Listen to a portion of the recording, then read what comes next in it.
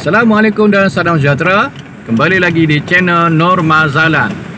Kepada yang belum subscribe, sila subscribe. Okey, untuk untuk info banjir Kelantan Kawasan Pasir Mas terutama sekali kawasan Ratau Panjang. Kerana kawasan ini sering tenggelami air Ketika musim banjir, musim bah. Saya ketika ini berada di sekitar kawasan uh, Kalebak 5 ataupun Bentung 5 Yang menghubungkan Pasir Mas ke Ratau Panjang.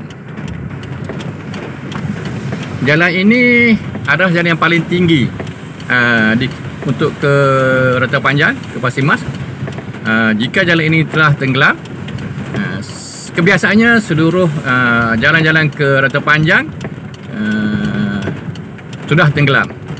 Okay, kita ke kawasan sekitar dia Okey, ini air dari arah kiri iaitu daripada dari Ratau Panjang ke Pasir Mas.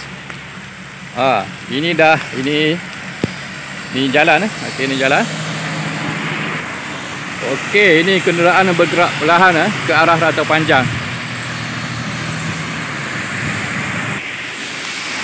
Okey, boleh lihat ni eh, air di sebelah kanan uh, jalan daripada dari Ratau Panjang ke Pasir Mas. Okey, ini jalan dia. Ah, air semakin naik eh. Air semakin naik pukul 12 uh, 12.40 uh, tengah hari. Okey, boleh lihat ni dalam satu kaki lagi uh, mungkin air akan limpah satu kaki lagi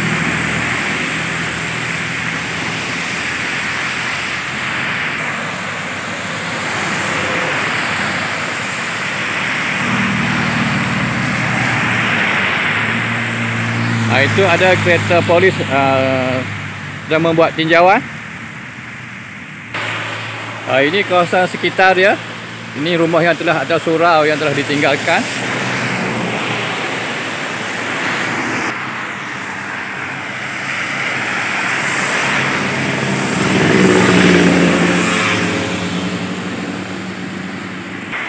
Uh, ini penyukat uh, banjir uh, baru dipasang.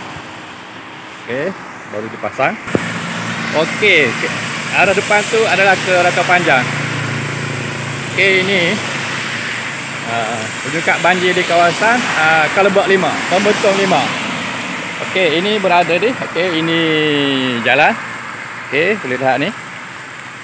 Okey sekarang ni berada di Parah uh, kosong. Okey parah kosong. Dia katakan parah kosong kan? Okey ada Lampu tu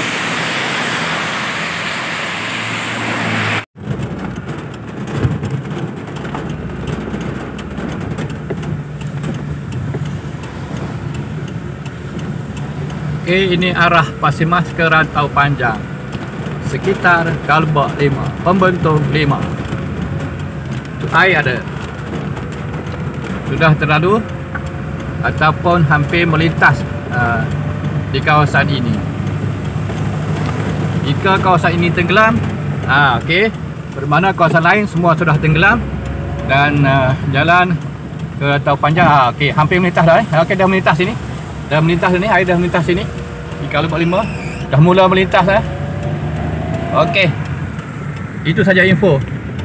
Uh, sila subscribe share info ini untuk um, manfaat bersama. Sekian terima kasih